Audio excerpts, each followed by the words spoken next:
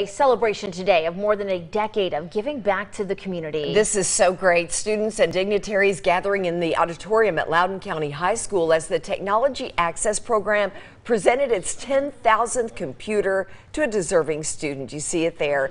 That computer, a surprise for Kevin Castro, a Loudon County senior. It's a big deal because uh, for me, in my experience, it's only my mother, so uh, it's it's a lot of financial help, a lot a lot of burden taken away from me for college, and just makes it a step easier with all the stress already involved in college.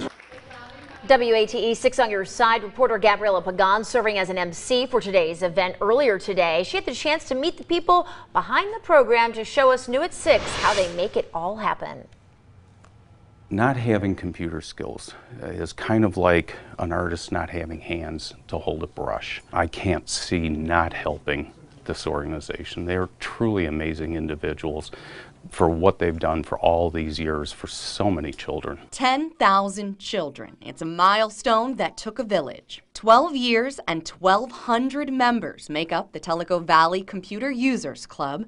Their biggest program, TAP the Technology Access Program. Which refurbishes the computers and then gets them out to children in need. You cannot survive anymore without being computer literate. TAP founder Warren Sanders one day realized the computers they were refurbishing to sell at garage sales and then giving what couldn't sell to commercial companies could be put to better use. You can't compete with people that are, have learned how to use computers because they've had them around and have been exposed to them and now you're going to go into the job market and you may not have those skills. You may not get into the education that you want because again you haven't mastered some skills to be able to be proficient in the lower grades to get into the better, you know, a higher education to get those jobs. And access to computers opens a creative outlet to springboard their future. If the parents can't afford to buy one, they'll be behind forever. And that's the gap we're trying to fill. There were families we heard about that didn't even have inside plumbing here in this day and age. Making a household computer the last on the list of priorities when you're just trying to survive. We realize that in many instances they would never have a computer if, if, they, if it wasn't for our program.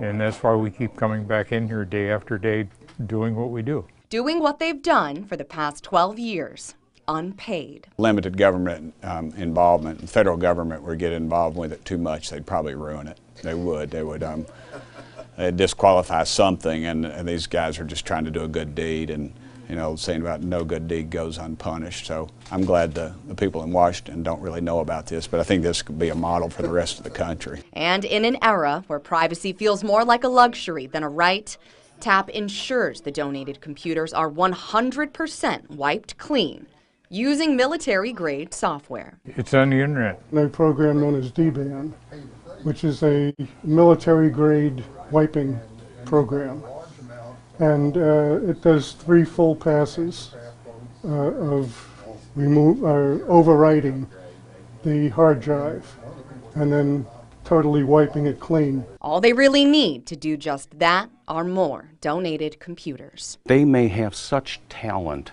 to be the ones to make the next great discovery. But it's locked in and they can't get it out. Computers help bring things out. In Loudon County, Gabriela Pagan, WATE, 6 on your side.